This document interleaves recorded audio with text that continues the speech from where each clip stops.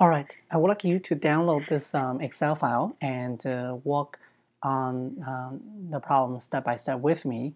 And your assignment uh, today is to uh, turn in your finished Excel table. Okay, so now we're going to review uh, the um, social accounting matrix. And you can see that um, this is one example. We have three industries here, agriculture, manufacturing, and services. And you can see that the 3 by 3 matrix over here that's the IO model, input-output model. And uh, for social accounting matrices, we add uh, a few more items here. We have factors, institutions, and others in this particular example. Now, one thing we want to check um, is that we'll make sure the total input uh, for each particular industry equals the total output or final demand.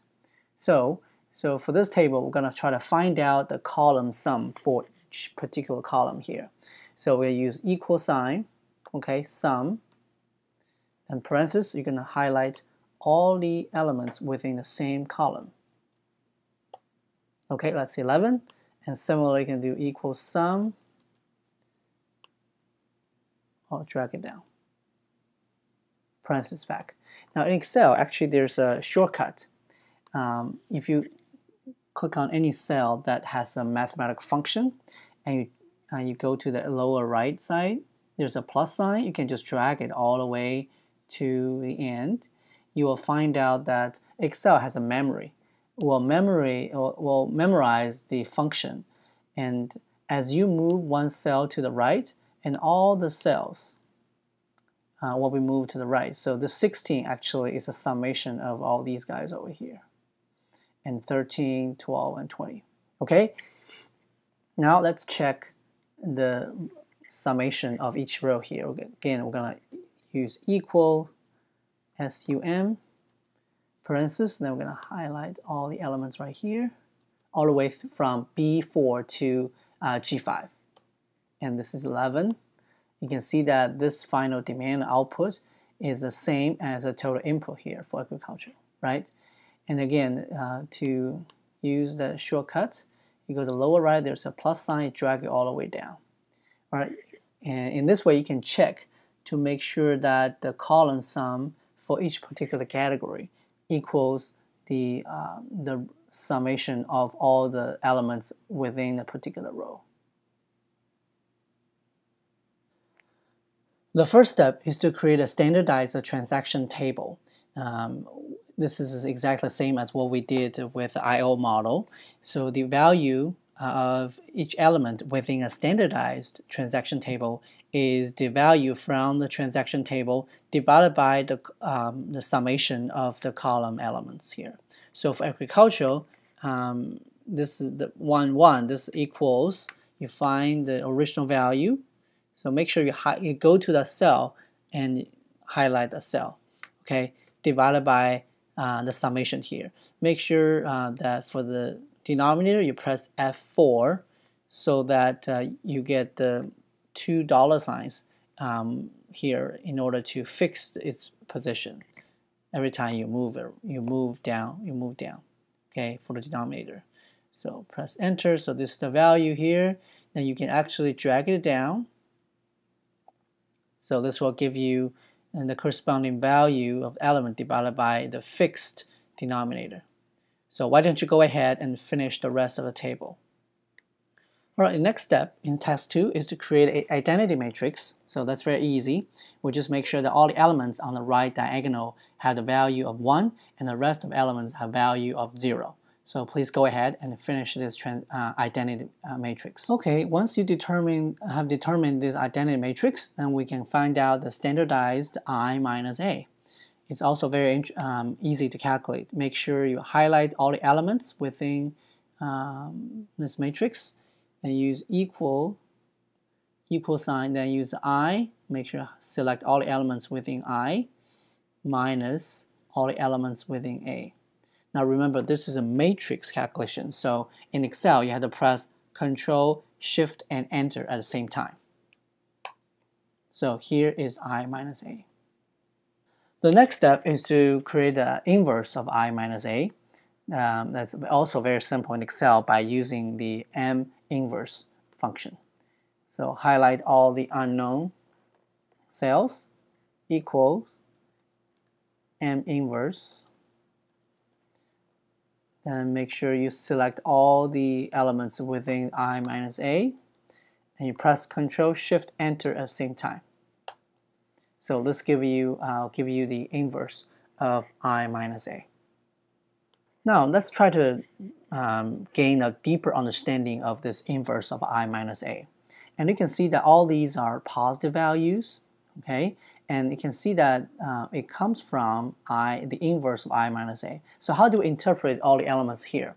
So if you look at the first column, uh, in the identity matrix, I from agriculture to agriculture, that's 1. Okay, so the mathematical symbolic meaning is that if you increase the um, input of agriculture by one unit while keeping other industries the same level as they are right now, then you will see the impact on different industries like here.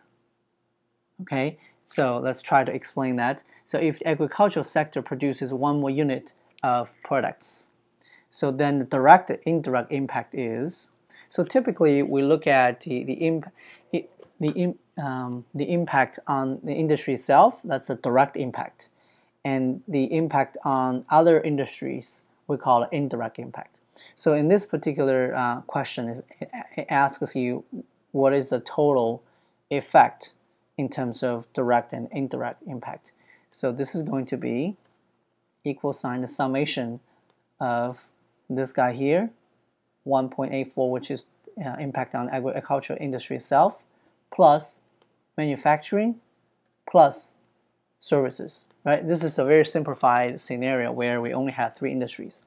So the total direct and indirect impact is this one okay 4.75 so you can see that it's big it's a big deal if we increase uh, the agriculture's output by one um, then uh, uh, you will get a direct and indirect impact of 4.75 units so the induced impact actually is we're looking at the uh, social uh, accounts uh, including factors, institutions, etc. So in this particular example, we only include uh, factors and institutions. So this is going to be um, the summation of factors and institutions. So that's the induced impact. Okay, we ignore the the others, the kind of rest of the world impact. We only look at uh, this um, these particular um, example uh, elements we have here. Then the total impact is going to be basically looking at, that's a summation of these two. Right, so 8.1 units. Does it make sense? All right, let's, let's work on another um, problem. If the manufacturing sector produces one more unit, so then we're looking at the second, this should be zero. So if the manufacturing sector produces one more unit, so then actually we're looking at this column right here, okay, the second one. So you can probably figure this out, the direct indirect impact, we're looking at the impacts on different industries, right? So equals this one here, plus this guy, plus this one. That's a direct indirect impact. Then induced impact, in this particular case, is summation of factors and institutions. Then the total impact is going to add up these two. 8.75. Okay, it's a big deal. Now I want you to try the last problem by yourself. The direct and indirect impact is summation. We're looking at this guy here, from here to here. Then induced impact, we're looking at factors and institution. Then the total impact is going to be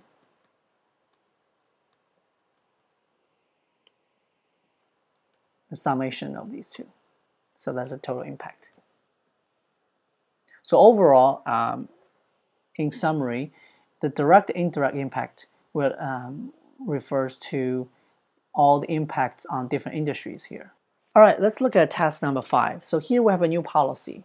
Um, under this new policy, we're going to stimulate the service in industry by 0.2 units and stimulate the manufacturing industry by 0.1 units. So what are impacts on all accounts? So remember uh, in IO model, we talk about delta Y, right? Delta Y is a matrix. Uh, uh, it's a column matrix. And make sure that the order of the accounts is the same as what you prepared in, in, in the uh, A matrix. Okay, so in this particular case, I'll increase the service industry by 0.2 and manufacturing by 0.1, while all others um, stay the same. So for agricultural, uh, 0, right, stay the same. And we look at the manufacturing, uh, this is going to be 0.2 oh, sorry, 0.1 and service 0.2 factors and institutions 0 okay uh, that's my policy I want to find out what are impacts on all accounts so remember equation the inverse of i minus a times delta y times all y equals delta x right? The change of x uh, total. So this should be delta x, the change of uh, input for different industries. So this is a matrix multiplication, right? So we're going to select all the five cell. One, two, three, four, five. Okay, select all the five elements within the same column. So equals, we're going to use a matrix multiplication. So M M-U-L-T. Okay, parenthesis, now we just highlight the inverse of I minus A. That's my first matrix. And the second one, I'll be using this column. Okay, parenthesis. Then you press Control Shift Enter at the same time. And you can see that that's the impacts on all accounts. So what it means is um, these are the inputs from different industries they need to produce, okay, in order uh, in order to, you know, achieve this outcome. And you can see that from here to here, these are the agricultural manufacturing through uh, services, and that's the direct and indirect impacts, right, out um, out of um, this policy. The summation of these two is the induced effect um, out of this policy. So why don't you go through this problem again all by yourself without uh, following my listening to, to my video and see if you can complete this Excel sheet by yourself. And after you complete that, uh, you submit this uh, complete Excel sheet um, under the assignment tab.